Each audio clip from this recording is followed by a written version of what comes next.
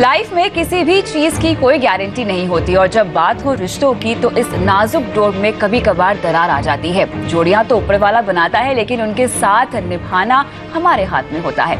आए दिन हम डिवोर्स किस्सों के बारे में सुनते रहते हैं, जो आपको इमोशनली हिला कर रख देते हैं, लेकिन साथ ही फाइनेंशियली भी आपके लिए ये काफ़ी स्ट्रेसफुल होते हैं। और यहाँ नाम आता है प्री नप्चुअल एग्रीमेंट्स का। जी हाँ जिन्हें शादी से पहले बनाया जाता है। क्या होते हैं प्री नप्चुअल कॉन्ट्रैक्ट्स और क्यों इन्हें बनाना चाहिए? इन्हीं सब पर हम विस्तार से आज बात करेंगे। हमारी खास पेशकश, प्यार में, लुटना, जाना में। नमस्कार, मैं हूँ कविता थपलियाल और इस खास चर्चा में आज मेरे साथ शामिल हो रहे हैं। सीनियर लॉयर सुजय कांतावाला और रुमटा सिक्योरिटीज के Harshvardhan. Rungta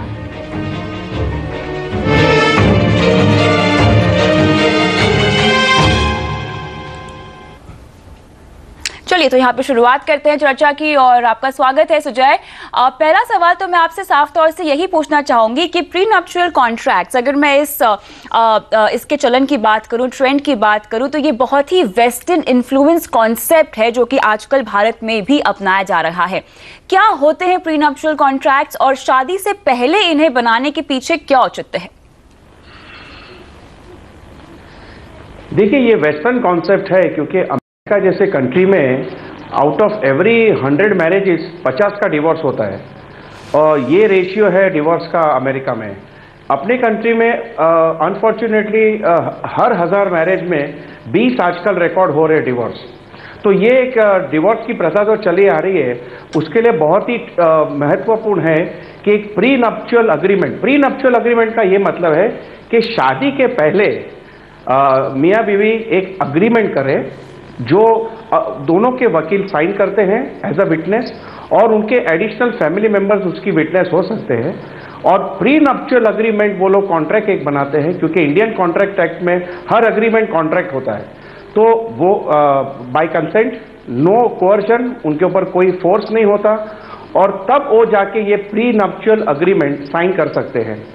pre nuptial agreement जो होता है, उसमें उनकी असेट्स उनकी लायबिलिटीज अगर उनका डिवोर्स हुआ तो किस हिसाब से इसका डिवीज़न होगा? अगर बच्चे हैं, अगर उनके दूसरे एसेट्स हैं मूवेबल्स हैं, और आजकल तो आपके पेट्स भी है, कुत्ता बिल्ली अगर है तो उसका भी डिवीज़न कैसे होगा? अगर डिवोर्स होता है, वो भी प्री नप्चुअल अग्रीमेंट में उसका वर्णन होता है।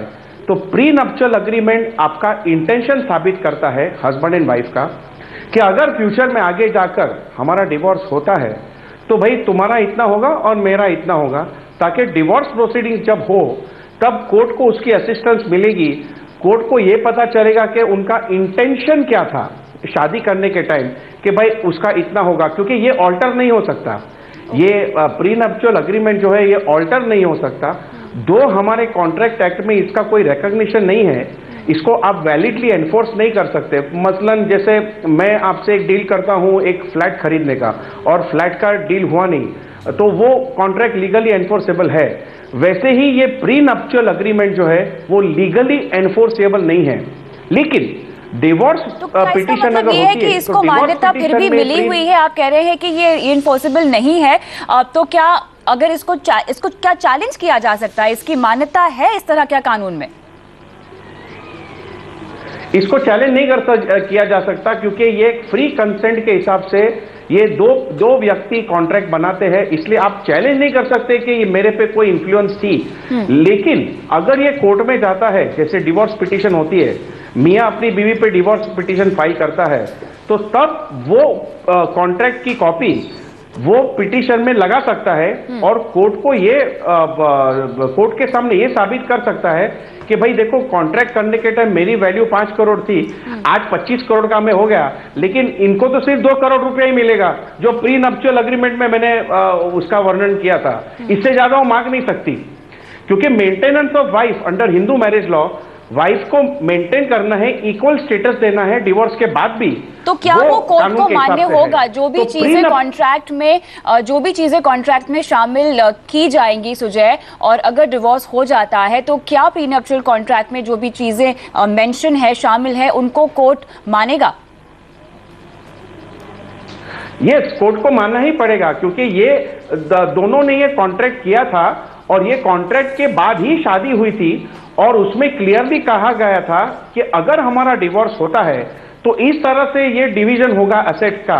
तो कोर्ट को कंसीडर करना ही पड़ेगा। कोर्ट दूसरा व्यू नहीं ले नहीं ले सकती इसमें। बिल्कुल, यहाँ पर आगे बढ़ते हैं और लीगल एस्पेक्ट पर तो हम और भी बात करेंगे ही, लेकिन हर्षवर्धन रुंगटा हमारे साथ जुड़ चुके हैं। स्वागत है आपका, हर्ष। मुझे ये समझाइए, अगर मैं इसको फाइनेंशियल प्लानिंग एंगल से समझना चाहूँ जैसा कि यहाँ पर सुजय ने बताया कि आपकी जितनी भी एसेट्स हैं, जितनी भी आपके पास फाइनेंशियली जो भी आपकी स्ट्रेंथ है, आप म्यूचुअली डिसाइड करके एक प्री कॉन्ट्रैक्ट बना सकते हैं, ताकि अगर इन केस ऑफ़ डिवोर्स अगर होता है तो आपको ये क्लैरिटी हो कि कौन सा एसेट किसके पास कितना जाएगा।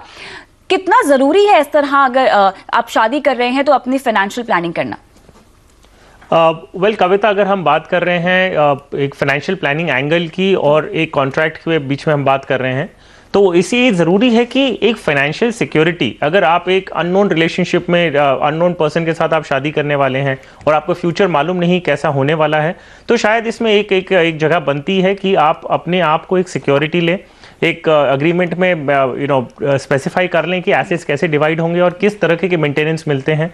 अगर हम एक you know from the husband point of view देखें और अर्निंग मेंबर के पॉइंट ऑफ़ व्यू से देखें तो वहाँ पे भी एक लाइबिलिटी फ्रीज हो जाती है। अगर हम दोनों तरफ़ से बेनिफिट्स देख रहे हैं एक एक from the from the bright side कि अगर what is going to be my security और uh, एक हस्बैंड की साइड से ये होगा कि आपकी लाइबिलिटी फ्रीज हो जाती है। आपको मालूम है कि आप इससे ज़्यादा आपको लाइबिलिटी बनती नहीं है।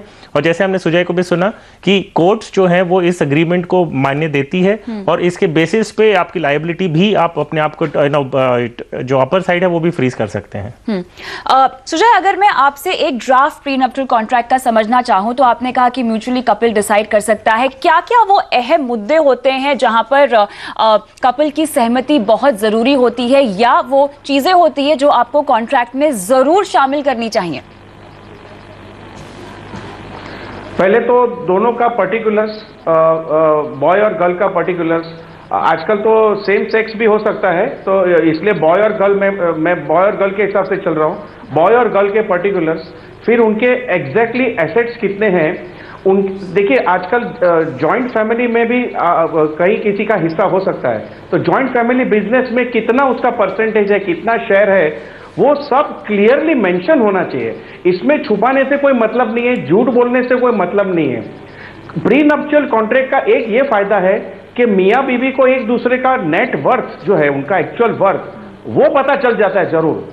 और वो डिस्क्राइब होना चाहिए कि भाई मेरा इतना एसेट है, मेरा इतना नेटवर्थ है, और दोनों के हिसाब, उसके बाद डिसाइड करना चाहिए कि अगर डिवोर्स होता है, भले आज मैं पाँच करोड़ रुपए का वर्थ है मेरा, लेकिन उसके बाद में पच्चीस करोड़ का हो गया, फिर भी आपको तो इतना ही मिलेगा, और इसमें ऐसा ही डिवीज़न होगा, उसका क्लियरली ठंडे दिमाग से वकीलों के साथ बैठकर उसका पूरा वर्णन करना चाहिए और बाद में एंड में दोनों को साइन करना चाहिए।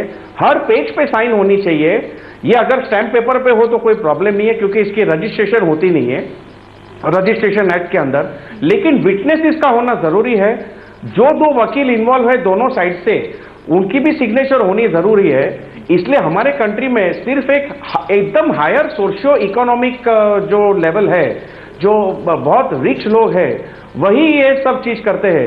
नॉर्मल इंडियन पब्लिक ये प्री नप्चुअल अग्रीमेंट में समझ ही नहीं सकता क्योंकि वो तो कहता है कि मैंने सात फेरे ले लिए मैंने मेरे जो भी वाव लेने से ले लिए अब इसके बाद प्रीनप करने की क्या ज़रूरत है? अच्छा इसमें यह भी एक एंगल हो सकता है कि अगर प्रीनप ज़्यादा होने लगा इंडिया में तो लोग एक बार ये सोचने लगेंगे कि अगर मैं प्रीनअप कर रहा हूँ तो शादी करने का मतलब ही नहीं है ना कोई। क्योंकि अगर डिसाइड ही करने वाले हो शादी के पहले के डिवोर्स होने वाला है हाँ। तो माइंडसेट ही गलत है। तो हमारा जो माइंडसेट है थोड़ा अलग है हम्म, बिल्कुल। और इसी माइंडसेट को मेरे ख्याल से बदलने की भी ज़रूरत है। हर्ष, बहुत अच्छा पॉइंट आउट किया है यहाँ पर सुजय ने कि हम तो शादी कर रहे हैं और प्रीनअप करके तो एक तरह से शादी से पहले ही हम डिवोर्स की बात कर रहे हैं। इस तरह के माइंडसेट में क्या अब वक्त आ गया है, अब बदलाव का? क्योंकि प्रीनअप का मतलब ये नहीं है कि आप शादी से पहले ही शादी को तोड़ने की तैयारी कर रहे हैं।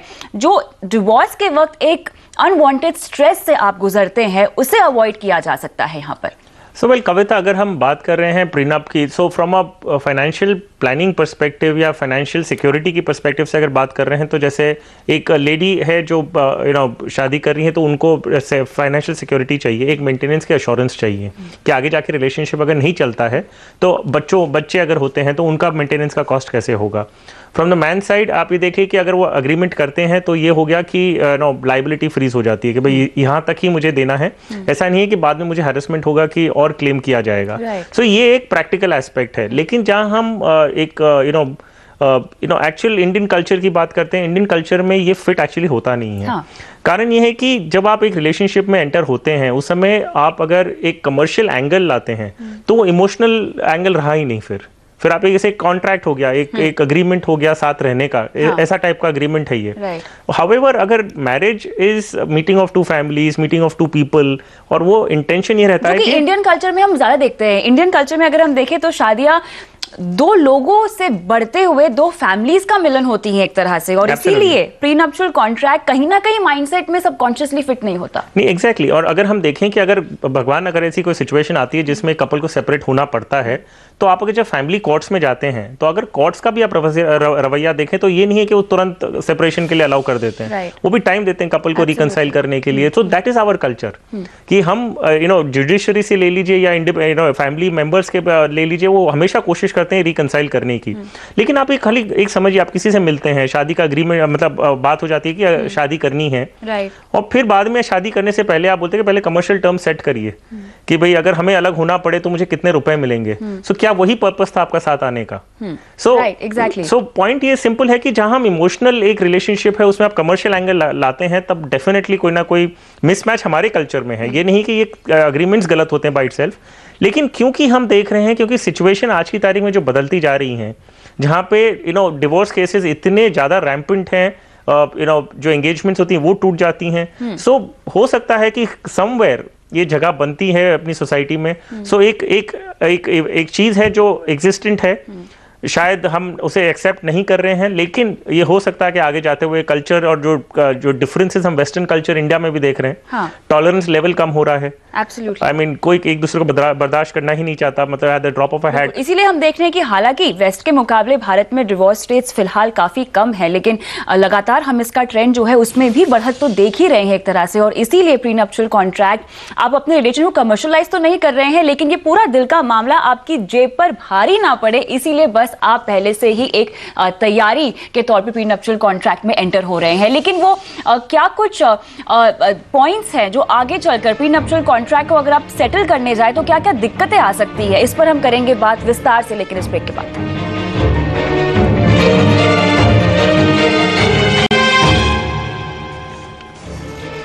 देख रहे हैं हमारी खास पेशकश प्यार में लुटना जाना जहाँ पर हम आपको बता रहे हैं प्रीनप्चुअल कॉन्ट्रैक्ट प्रीनप्चुअल एग्रीमेंट्स के बारे में कैसे शादी से पहले ही आप इस कॉन्ट्रैक्ट में एंटर होकर अपने फाइनेंशियल सेपरेशन को काफ़ी स्मूथली कर सकते हैं। और मेरे साथ जुड़े हुए हैं सुजय कांतावाला और साथ ही हर्षवर्धन रुंगटा।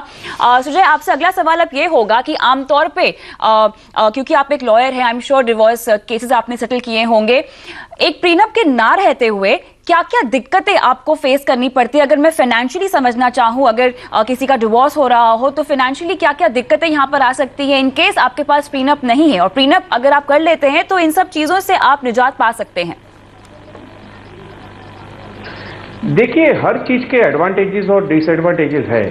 आजकल तो कहते हैं कि मैरिज टूजो के साथ ही एक बेटा प्रीनप लेके चले जाना। वो वो टाइप का ट्रेंड आ रहा है।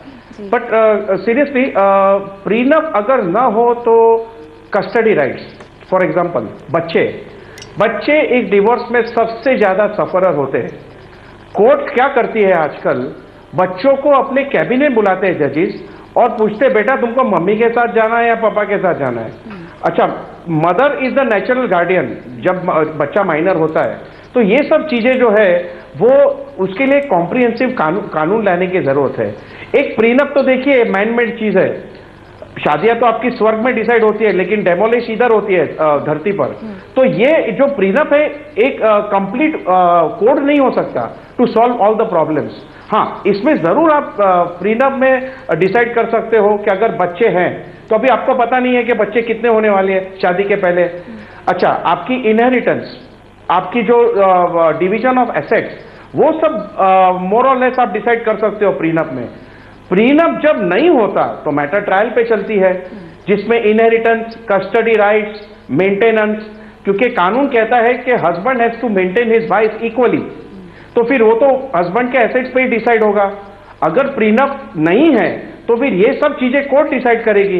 और अगर प्रीनप है तो कोर्ट को एक असिस्टेंस मिल जाती है कि कैसे कोर्ट को आगे बढ़ना है और कैसे ये डिक्री फॉर डिवोर्स आगे जाके इसको सॉल्व करना है प्रॉब्लम यानी देखिए ये दो धारी तलवार है दोनों साइड से उसको कट कर सकते इसके लिए मेरे हिसाब से एक मुहिम छिड़ी थी कि इसका एक कॉम्प्रिहेंसिव लिटिगेशन लाना क्योंकि हमारे कंट्री में काफ़ी पर्सनल लॉज है।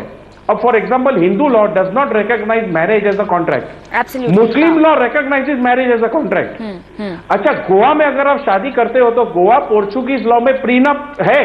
प्रीनप रिकॉग्नाइज है। प्रीनप आप लीगली एनफोर्स कर सकते हो। तो अगर एक सेंट्रल लॉ आ जाता है जिसमें यह सब चीज़ डिसाइड हो जाती है तो वही ठीक रहेगा मेरे ख्याल से। बिल्कुल तो यहाँ पर एक समानता आ जानी चाहिए। लेकिन हर अगला सवाल ये उठता है, अब जैसे कि हम वेस्ट में प्रीनप्स देखते हैं, जो बनाए जाते हैं, और काफ़ी क्रेजी प्रीनप्स होते हैं। हम देखते हैं कि ना सिर्फ़ आपके एसेट्स को डिवाइड किया जाता है, बल्कि एक डॉग की कस्टडी कौन लेगा, उसको लेकर भी प्रीनप एग्रीमेंट में उसका ज़िक्र होता है। लॉयर के साथ साथ फाइनेंशियल प्लानर को भी बैठा कर क्या प्रीनप एग्रीमेंट हम बनाते हैं तो क्या क्या अहम मुद्दों पर हमें बात करनी चाहिए?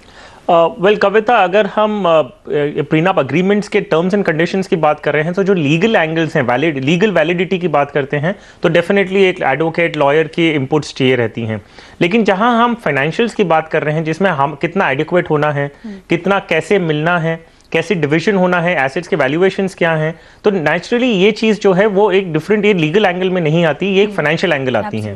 तो जो फाइनेंशियल एंगल कोई चीज़ का आता है तो यू आप आपको एक फाइनेंशियल जो एक्सपर्ट है या फाइनेंशियल जो मैटर समझते हैं उन्हें अगर आप इन्वॉल्व करते हैं तो इसमें बहुत सारी चीज़ें सॉर्ट आउट हो सकती है। मान लीजिए एक लीगल एक स्ट्रिक्ट लीगल एंगल के तरीके से अगर हम बात करते हैं सो प्रीनप अग्रीमेंट्स हम समझ रहे हैं कि ये कोर्ट उनको रिकग्नाइज करती है और वो बेसिस बनता है। मान लीजिए एक ऐसा अरेंजमेंट हो रहा है जहाँ पे the girl is going to be homemaker जो गर्ल शादी कर है, वो होम मेकर ही रहने वाली है हस्बैंड कमाने वाले हैं। सो प्रीनप अग्रीमेंट में हस्बैंड पे एलिमनी देने का और मेंटेनेंस का कॉस्ट आने वाला है। क्या ये लीगल पॉइंट ऑफ़ व्यू से हम बोलते हैं कि पहले ही अग्री कर लेते हैं कि कोई लाइबिलिटी बनेगी नहीं। अगर हस्बैंड वाइफ दोनों मिलके ऐसा साइन कर लेते हैं तो क्या ये वैलिड होगा? मान लीजिए लीगल पॉइंट ऑफ़ व्यू से तो बोलेंगे, आपने पहले अपनी लाइबिलिटी डिस्चार्ज कर दी थी, बोली मुझे कुछ नहीं चाहिए। अगर आपने ऐसे बोल के मैरिज में एंटर किया है और वही अग्रीमेंट लेटर ऑन आप चेंज करना चाहते हैं बोलते हैं कि नहीं मुझे चाहिए। सो so, ये लीगल पॉइंट ऑफ़ व्यू से एक पॉइंट हो गया लेकिन फाइनेंशियल एंगल ये होगा कि क्या ऐसे ही एग्रीमेंट में आपको एंटर करना चाहिए। कि आप अपने हाथ बाँध रहे हैं और फिर बाद में आप यू नो अपने राइट्स वेव ऑफ़ कर रहे हैं। दूसरी बात यह है कि जब हम एसेट्स की बात करते हैं तो ये इवेल्युएट करना ज़रूरी है कि क्या जो हम एसेट्स की बात कर रहे हैं वो सफिशिएंट है कि नहीं है। अगर आप एसेट्स जो अपना हिस्सा उसमें अग्री करते हैं वो आगे जाके आपको, आपके जो लाइफस्टाइल है या जो मेंटेनेंस आपको मिलना चाहिए, उतना सफिशिएंट नहीं बनता है। तो डेफिनेटली उसका मीनिंग ही खो गया है। तो आपको फाइनेंशियल एंगल अगर आप आ रहा है तो फाइनेंशियल प्लानर अगर आप लेते हैं लीगल एंगल है तो लीगल वैलिडिटी के लिए एक लॉयर होना ज़रूरी है। तो ये सारी चीज़ आपको अपने दायरे में लेके डेफिनेटली चलना चाहिए। बिल्कुल। एक सवाल यहाँ पे जहन में ये भी आता है सुजय जी कि यहाँ पर तो हम एसेट्स की बात कर रहे हैं और आपकी एलमिनी की बात कर रहे हैं बच्चों की कस्टडी की बात कर रहे हैं। लेकिन क्या इस तरह के क्लॉजेस भी शामिल होते हैं जहाँ पर आगे चलकर अगर शादी के बाद कोई एक्स्ट्रा माइटल अफेयर हो जाता है क्या वो ये ये सब तरह की प्रॉब्लम्स जो शादी शादी के बाद अगर कभी अराइज होती है ये भी इंक्लूड की जा सकती है प्रीनप में? यस yes, मैं इसका एग्जांपल इमीडिएटली मेरे को जो याद आ रहा है वो टॉम क्रूज और केटी के जो उनका जो प्रीनप हुआ था उसमें टॉम क्रूज हर साल तीन से चार मिलियन डॉलर पे कर पे कर रहा था उसकी वाइफ को। ये गारंटी देकर के मैं कुछ गलत नहीं करूँगा और मेरे से शादी बना के रखना।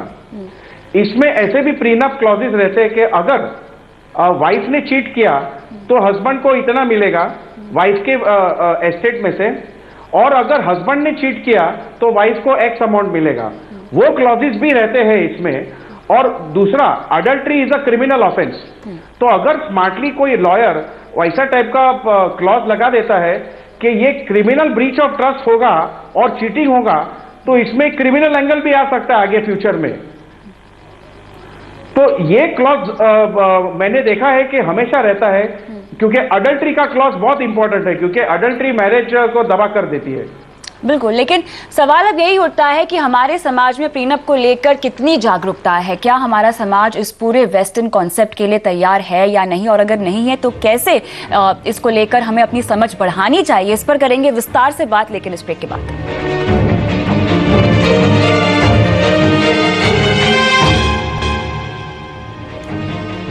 आप देख रहे हैं हमारी खास पेशकश, प्यार में लुटना जाना, जहाँ पर हम आपको बता रहे हैं कि प्रीनप्चुअल कॉन्ट्रैक्ट्स की अहमियत क्या होती है, इसका महत्व क्या होता है। हमेशा जुड़े हुए हैं सुजय कांतावाला और हर्षवर्धन रुंगटा। चर्चा को आगे बढ़ाते हैं और अब सुजय जी, मुझे ये बताइए कि आपके पास जब कपल्स आते हैं प्रीनप्चुअल कॉन्ट्रैक्ट बनाने के लिए, अमूमन किस तरह के सवाल पूछे जाते हैं या उनके अंदर एप्रीहेंशन क्या होती है? क्या क्या वो कंसर्न्स होते हैं जिसको वो आपसे जानना चाहते हैं और आप किस तरह से उसका जवाब देते हैं? देखिए, आजकल मैंने देखा है कि जो कपल्स मेरे पास आते हैं, दो टाइप के आते हैं। कभी किसी को डेटिंग साइट पे कोई मिल गया और वो उसको जानता नहीं है, उसके फैमिली को जानता नहीं है तो उसके माइंड में भयंकर इनसिक्योरिटीज रहती है एक दूसरे के बारे में। मैंने ऐसा भी देखा है कि एक डिटेक्टिव एजेंसी लगाते हैं एक दूसरे के पीछे कि भाई, इसका पास्ट क्या था? कितने स्केलेटन थे इसके कबड में। अच्छा ब्लड टेस्ट भी इंसिस्ट करते हैं आजकल के भाई ये एड्स है इसको नहीं है इसको कोई ऐसा कोई वायरस है कि नहीं। तो ये तरह के एप, आ, जो एप्रीहेंशन माइंड में आजकल लोग लोगों के हैं। मेरे पास ऐसे भी पेरेंट्स आते हैं क्या कहने के लिए कि भाई ये दोनों बच्चे प्रीनअप अग्रीमेंट का सोच रहे हैं तो इससे हमारी तो कितनी बदनामी होगी?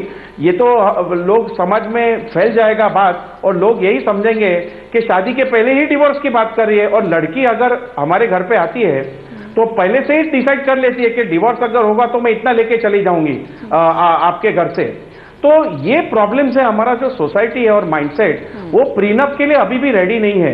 प्रीनप के लिए कौन रेडी मैं आपको बता रहा हूँ जो एकदम हायर सोशियो इकोनॉमिक कपल्स है जो एक अलग ही दुनिया में रहते हैं हाईली एजुकेटेड है बहुत ही एफ्लुएंट है।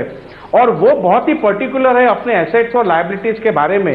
वही प्रीनप का भी सोच रहे हैं। मसलन आप सोचिए पाँच परसेंट भी इसमें से पाँच परसेंट से भी कम है जो अभी प्रीनप का सोच रहे हैं। तो ये एस्पिरेशन लोगों के माइंड में रहती है ये एप्रीहेंशन हम्म। कि भाई ऐसा होगा तो ऐसा होगा ऐसा होगा तो ऐसा होगा। और मेन चीज़ क्या है सोसाइटी में लोग क्या सोचेंगे इसके बारे में एप्रीहेंशन रहती है उनकी। बिल्कुल ये तो एक माइंडसेट हो गया प्रीनप्स को लेके लेकिन हर्ष आप मुझे ये समझाइए कि अगर मैं एक प्रीनप कॉन्ट्रैक्ट में एंटर होती हूँ क्या उसके बाद भी मैं अपनी इन्वेस्टमेंट्स और अपने एसेट्स बना सकती हूँ एब्सोल्युटली इनफैक्ट uh, अगर हम आई जस्ट टेक जहाँ सुजय ने बा, बात की थी कि hmm. क्या ये प्रीनप पहली बात होनी चाहिए so hmm. Well so, well, अगर हम मैरिज की बात कर रहे हैं एक कमिंग टुगेदर दो दो दो इंसानों का साथ में आने की बात कर रहे हैं एक ज़िंदगी जीने के जो यू नो ड्रीम्स होते हैं वो उसकी बात कर रहे हैं तो उसमें एक्चुअली कमर्शियल एंगल्स लाने ही नहीं चाहिए in the first place in fact आप क्या कर सकते हैं कि आप अपने एसेट्स खुद बना सकते हैं और उस प्रकार से आप अपना इन्वेस्टमेंट्स अपनी फाइनेंशियल इंडिपेंडेंस की जो बात कर रहे हैं वो आप अपने आप से क्रिएट कर सकते हैं. रेगुलरली भी आप जब शादी होती है उस समय से आप शुरू कर सकते हैं. आपके जो खुद के पहले से इन्वेस्टमेंट्स होंगे उसे आप मैनेज करके अपने नाम पे रख सकते हैं. उसमें कोई ऑफेंस फील नहीं करता है. सिर्फ़ है कि जब आप इतना commercial angle you know use करते हैं यू नो जैसे सुजय ने भी कहा कि I will agree with him कि ये एक बहुत ही हाई सोसाइटी या सोशियो इकोनॉमिक लेवल के जो इंसान होते हैं वो शायद Absolutely. सोच सकते हैं। लेकिन उसमें भी अगर देखें तो ये मैरिज ऑफ़ कन्वीनियंस होता है कि भाई कोई मतलब ऐसा नहीं है कि वो शादी कर रहे हैं कोई इमोशनल बॉन्ड की वजह से। हो सकता है हम्म। कि वो शादी इसी के लिए कर रहे हैं क्योंकि दोनों हाई नेटवर्थ इंडिविजुअल्स हैं बिज़नेस हाउसेज इंडस्ट्रियल हाउसेज हैं जो साथ आ रहे हों। सो आई थिंक अपना खुद का आई मीन कई चीज़ें टाइम के लिए छोड़ देनी चाहिए कई चीज़ आपको अगर रिलेशनशिप है तो डेफिनेटली आप कमर्शियल एंगल मत लाइए। हम्म। वक्त पे छोड़ दीजिए देखेंगे फिर जो होगा फिर कोर्ट सही जो आपको आपका हक कैसे भी दिला सकती है। एब्सोल्युटली इसको एज अ कमर्शियल एंगल भी नहीं देखना चाहिए। इनफैक्ट एक तरह की फाइनेंशियल फ्रीडम है। आप किसी रिलेशनशिप में एंटर हो रहे हैं लेकिन आगे चल के जैसे कि हम सब जानते हैं कि बहुत अनप्रेडिक्टेबल है ज़िंदगी। आप पहले से कुछ भी निर्धारित यहाँ पे नहीं कर सकते हैं लेकिन कम से कम फाइनेंशियल फ्रीडम आपको पाने का पूरा हक है। और इसी को ध्यान में रखते हुए प्रीनअप कॉन्ट्रैक्ट यहाँ पर काफ़ी चलन में हम देख रहे हैं। बहुत बहुत शुक्रिया। आप दोनों का इस खास चर्चा में शामिल होने के लिए और इसी के साथ मुझे भी दीजिए इजाज़त। नमस्कार।